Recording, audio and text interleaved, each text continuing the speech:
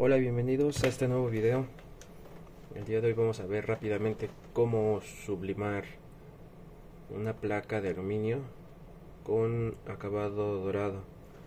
De esos que andan muy de moda. Vamos a, sublimarla de una manera bastante, bastante sencilla. Pero ¿qué vamos a necesitar? Como siempre, tinta, papel e impresora para sublimación no se puede hacer con tintas normales. La impresora de escritorio no se puede. ¿Vale? Para que no... Porque es la duda principal siempre que ven videos de sublimación. ¿Con qué tinta se hace y con qué papeles? Todo es con tinta y papel de sublimación. Sea una impresora salida de fábrica para sublimar o sea una impresora de escritorio a la que le pusieron tintas de sublimación. Eh, con eso es más que suficiente. Nuestra lámina tiene que ser obviamente una lámina con un pretratamiento de polímero para sublimación. No se puede utilizar cualquiera.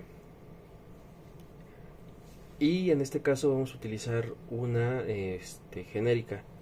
Porque también hay una línea premium que se llama Chromalux, pero esa no la vamos a utilizar. Una porque no tenemos y dos por el costo. Entonces, vamos, primero tenemos que ver el tipo de lámina que es. De esta hay dorada, plateada y la clásica blanca. Entonces, vamos a tratar de buscar una imagen que resalte para que nosotros este, veamos el, el resultado final en buena calidad. Y que sea obviamente una imagen llamativa. Vamos a descargar yo creo que esta. Vamos a abrir imagen. Aquí ya se abrió. Ah pero también antes acuérdense vean que la imagen esté pixeleada. Para eso la tienen que abrir.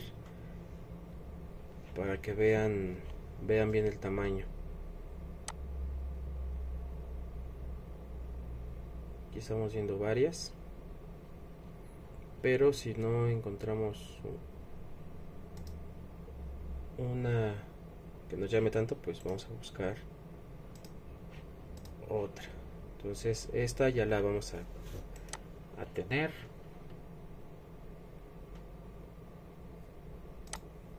Guardar imagen aquí vamos a dar. La vamos a mantener aquí y ahora vamos a irnos a Photoshop. Vamos a irnos a nuevo.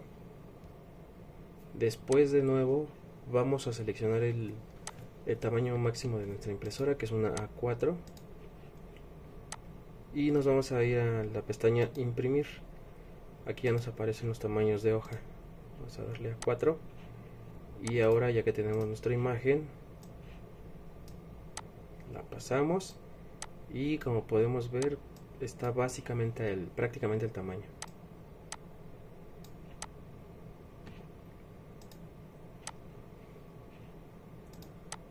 Ok entonces ahora que vamos a hacer vamos a presionar control P para que inicie la impresión. Los ajustes estamos utilizando una Epson F170 el modelo nativo para sublimación de Epson. Estamos utilizando tintas originales de Epson pero el, el, papel acuérdense este estamos utilizando un papel de la marca o de la tienda más bien de todos los productos un papel de respaldo rosa secado ultra rápido para que no tengamos camino de hormiga. Vamos a hacer los ajustes extendidos para aumentar un poquito la saturación.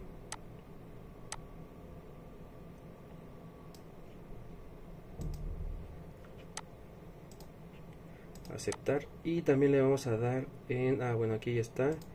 Vamos a darle en alta. Ya tenemos nuestro cuadro de delimitador que ese nos da el driver de la impresora por defecto dejamos aquí que la impresora gestione los colores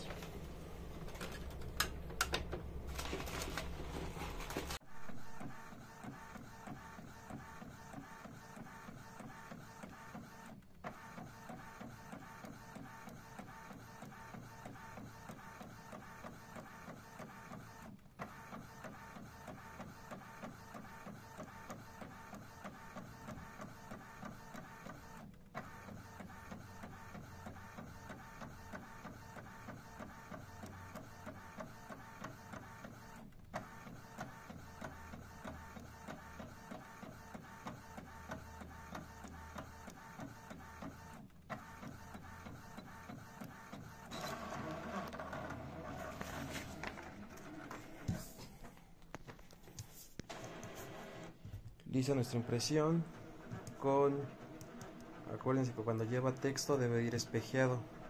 Si no lo espejeamos va a salir al revés el texto. Entonces ahora vamos a la plancha.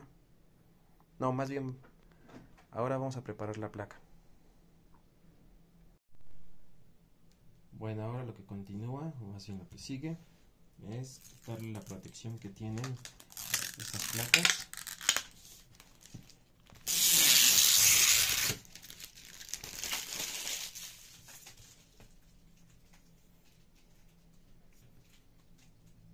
y tratar de manejarlas en un lugar que donde no haya tanto polvo.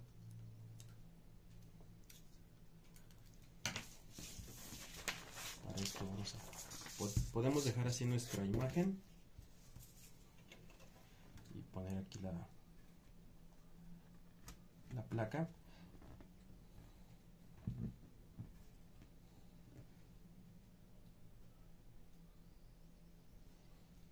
y hacer que quede más centradita.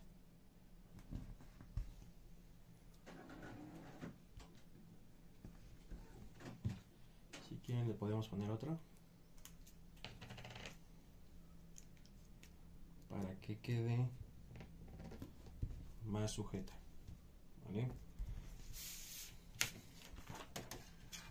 Aquí nos va a quedar este espacio, este de acá no este no hay que preocuparnos porque después la vamos a la podemos refinar con cúter.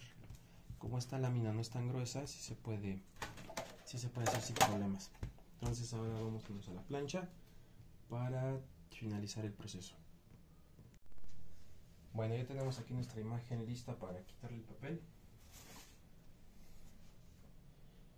Acuérdense deben de hacerlo con cuidado porque como la placa está caliente no se vaya a quemar, no se vayan a quemar.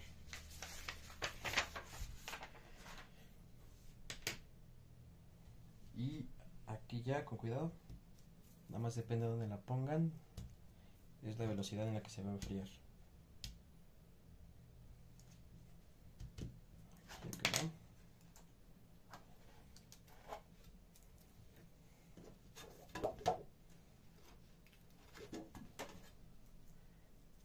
Tiran esto.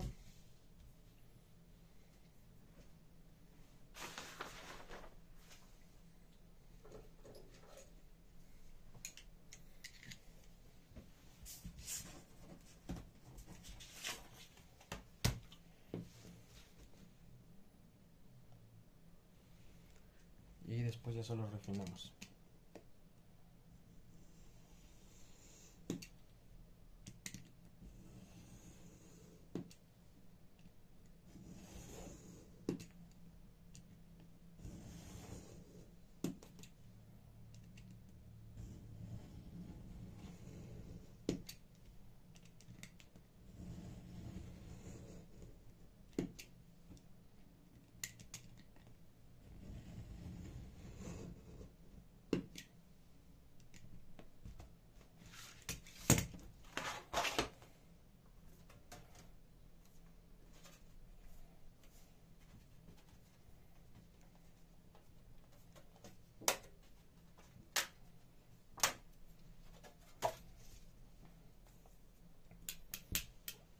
ya queda. Y aquí ya tenemos la placa.